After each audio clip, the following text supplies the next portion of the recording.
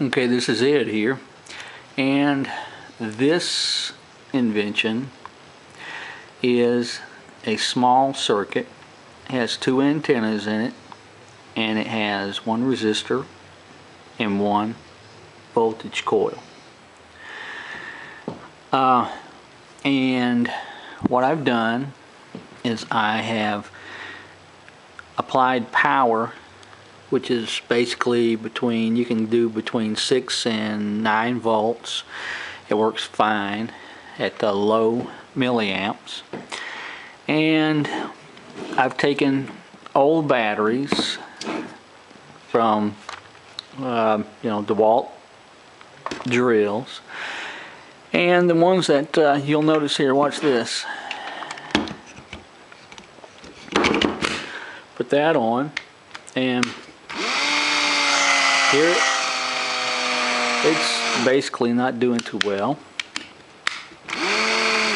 Alright let's see let me get that off. Now you take this and basically you touch one of the leads positive or negative really doesn't matter.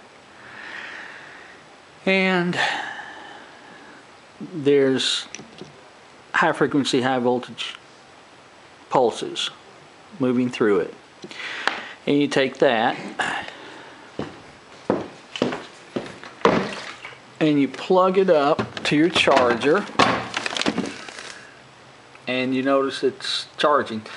That battery was before was totally dead uh, and I've used that device to get it to actually charge. Now it will.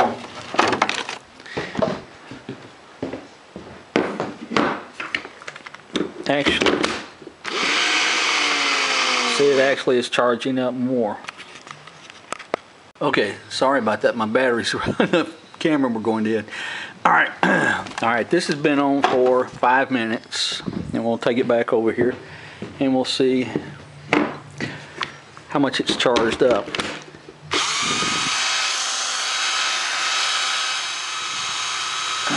So you see, it does something to it to give it a charge in five minutes like that. I'm not sure what it's all about. It's that same battery.